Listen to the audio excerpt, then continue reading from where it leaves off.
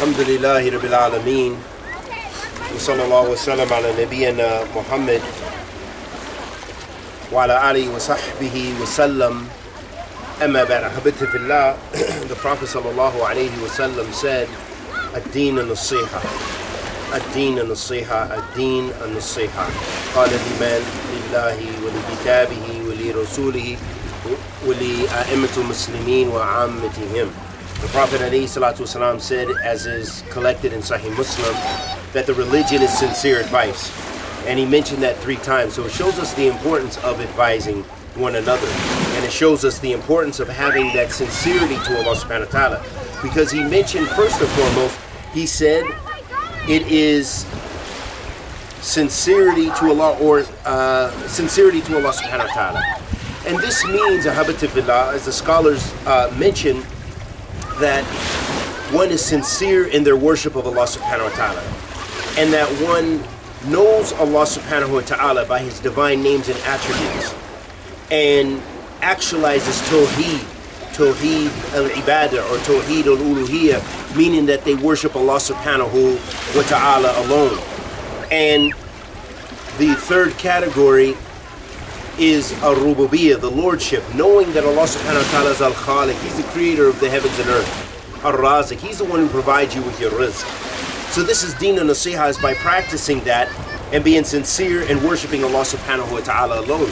And also the nasiha, the sincerity to his book, to the Quran, by practicing and following the commandments of Allah subhanahu wa ta'ala in the Quran and to his messenger or messengers, alayhim afdal salatu wasalam, and this comes by following the sunnah of the Prophet Muhammad sallallahu alayhi wa wasallam, and to the imams of the Muslims, meaning to the leaders, that the leaders that we should be uh, advise them.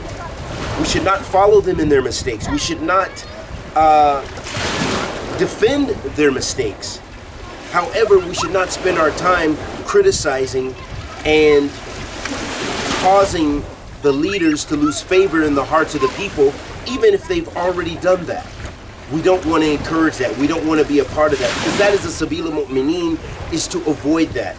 That is the path of the Salaf Salih, the Minhaj Salaf, is to avoid uh, fitna with the leaders, avoid rebelling against the leaders, whether that be rebelling with the tongue or rebelling with the sword. And then the Prophet ﷺ said, advice to the general Muslims. And the general Muslims, however, that could be considered, although the students of knowledge and so forth, the students of knowledge and perhaps even the scholars are advised similarly that we don't want to take the love that the people have for the ulama away from those ulama. Likewise from the talabat al-ilm. Because they're the ones in your societies helping to raise up your societies. They are the ones who are trying to rectify the people and rectify the state and affairs of the believers. And they're teaching the believers. They're sacrificing their time and their energy and sometimes their wealth and sometimes even their lives to teach the people Kitabillah wa Sunnah Rasul sallallahu alayhi wasallam according to the minhaj of the Salaf. So that's why it's imperative that we don't belittle them. We don't attack their honor. We don't make riba and namima and we're not quick to take them off the minhaj of the Salaf if they are known for the minhaj of the Salaf, if their usul, their foundation of how they understand Islam, how they practice Islam, their minhaj, their methodology is that of the sabil al-mu'mineen then we should not rush to attack them and belittle them and destroy their character and say they sat with this one or say they did this mistake and try to destroy them for mistakes that they make. Because all of us, as the Prophet ﷺ said, Kullu Adam All the children of Adam make mistakes. They all sin. But the best of those who sin is those who repent.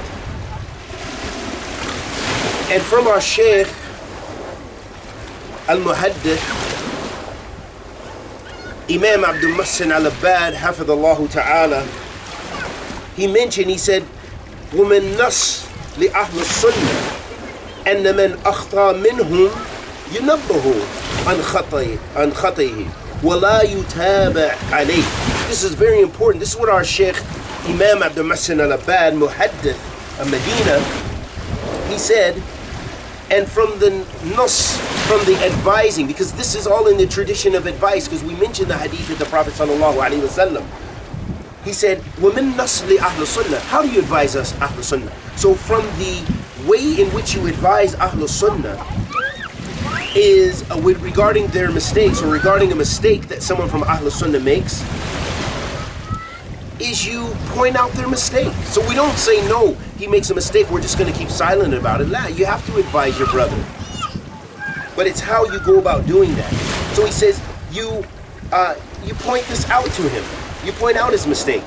But you don't follow it up, meaning that now that you've got a mistake, you don't go through all of his books, all of his tapes, all of his lectures to try to find more and more until you can compile something to take it to one of the scholars to destroy that brother's honor.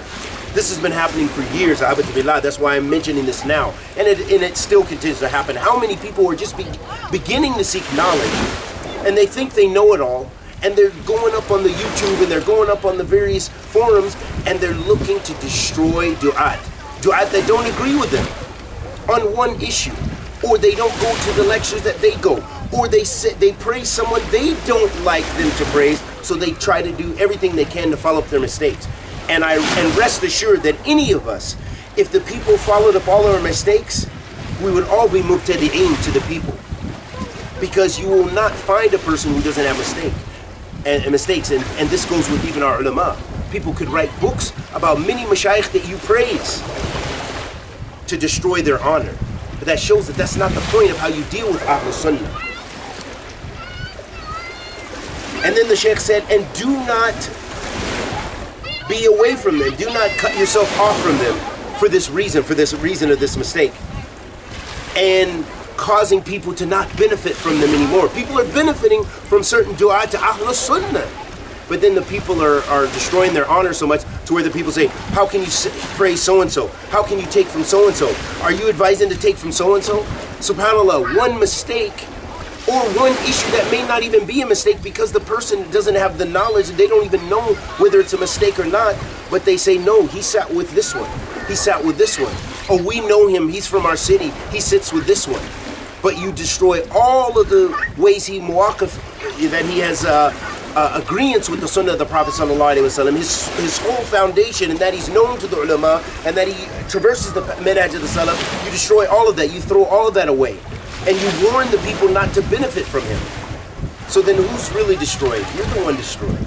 In the end, even if you destroy the brother's honor, or the sheikh's honor, or the talib al-ilm, the, the talib al-ilm, his honor, that you're the one who's destroyed because in the end, you will be known to your Lord subhanahu wa ta'ala as the one who cut off the path of good. So that's why I advise myself and my brother and sister to be cautious about that. And the Sheikh mentioned many benefits with regards to this, and I just wanted to keep it somewhat precise and advise myself and my brothers and sisters not to indulge deeply into those issues about destroying people. And in fact, it should never be a concern that we should be concerned with destroying people. However, those people who have knowledge and fiqh and hikmah, that they can look into the issues of Ahl Bid'ah to warn us against Ahl Bid'ah and to warn us against the mistakes even of our brothers, but not to necessarily try to destroy your brothers. And we ask Allah the Almighty to accept our good and forgive our evil. Sallallahu alaihi wasallam ala nabiyyina Muhammad wa ala alihi wa sahbihi wa sallam.